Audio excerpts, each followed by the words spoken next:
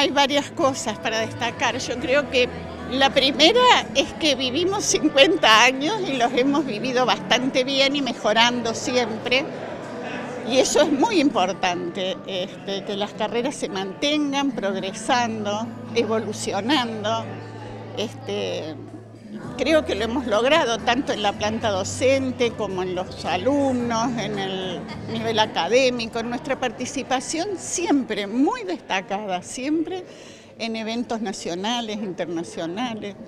Digo, participación de docentes y de alumnos de nuestra carrera. Creo que eso este, le dio un plus en el marco de todas las carreras del país, ¿no?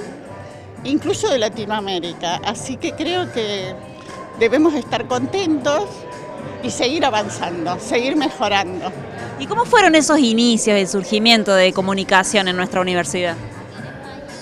Bueno, los inicios fueron de la absorción por parte de la universidad de dos carreras que había en un instituto terciario, que era el Instituto Superior de Ciencia. Tenía dos carreras, periodismo y relaciones públicas.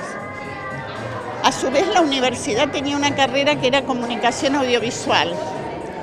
Entonces cuando las carreras, o no me acuerdo bien si era comunicación audiovisual o técnicos en audiovisualismo, y cuando las carreras de este instituto pasaron a la universidad, se unieron y se formó la carrera de Ciencias de la Información en ese entonces, ¿no? Después en el 80 cambió el plan por la licenciatura en Ciencias de la Comunicación, que era como una corriente que ya se vivía en todo el país, donde las carreras de Ciencias de la Información y de Periodismo pasaban a ser carreras de comunicación.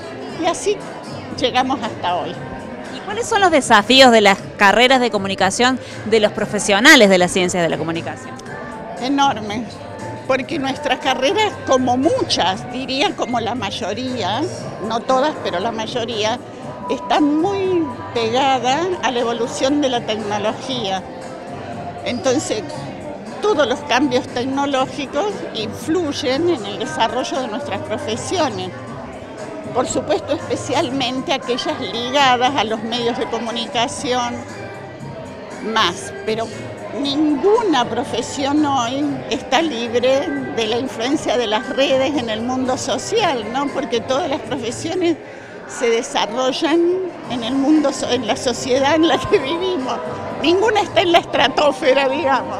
Y para vivir en esta sociedad hay que estar en ese ambiente. Por supuesto que para las carreras de comunicación es un enorme desafío, porque, por ejemplo, el periodismo está directamente vinculado a la evolución de las tecnologías. Y entonces, bueno, ese es el principal desafío, creo yo.